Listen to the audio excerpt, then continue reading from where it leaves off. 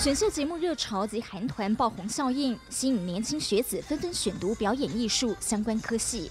我就是很喜欢韩团，所以才来中职。可是因为后来接触到日系，发现日系也蛮适合我的。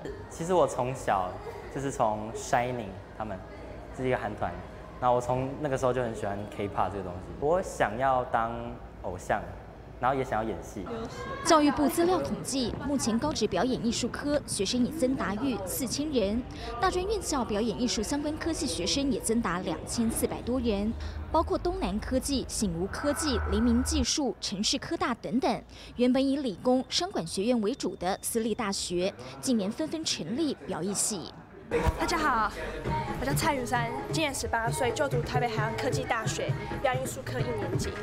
然后平常我喜欢唱歌跳舞，我很喜欢把我的快乐分享给大家。未来的话，我希望我就是可以出国进修我自己的舞蹈，提升我自己的能力。我的兴趣是舞蹈，然后擅长的风舞风的话是 girl style，或是翻跳韩舞，或是日舞。但教育部考量一窝蜂开设会过于倾斜，认为有必要管控。一百零九学年起禁止技专院校高职再新设相关科系。在人才培育上，我们必须考虑产业的供需平衡。我基本上觉得任何的政策呢有好有坏，好的部分的确就是啊，就已经台湾市场是这样，生多的时候粥就少，所以你继续让它设，的确会变成。本来基本起薪就已经低了，未来更没有饭吃。你可能也会觉得，那继续把事情做大一点啊。他们就会觉得，政府这样做，那就更不可能有那种万中选一。我们就会有像 BTS 那种，呃，歌手啊、制作人啊、实体创作者啊。你就是人越多，你会找到好的不是越多吗？可以给予计划性的扶持，而不是做一种遏制啊。因为你看那个韩国，你知道。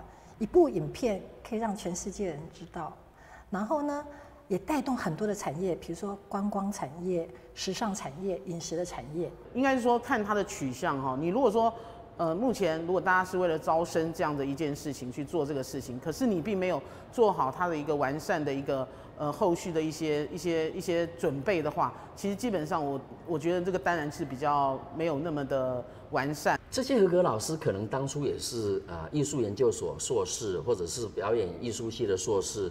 那他有没有在线上演过、拍过任何作品？他有没有在这个圈子生活？未必有。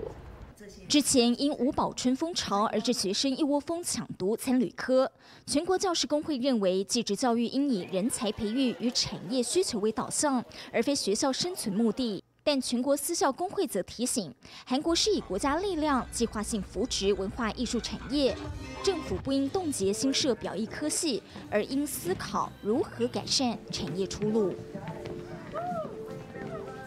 下吧，下。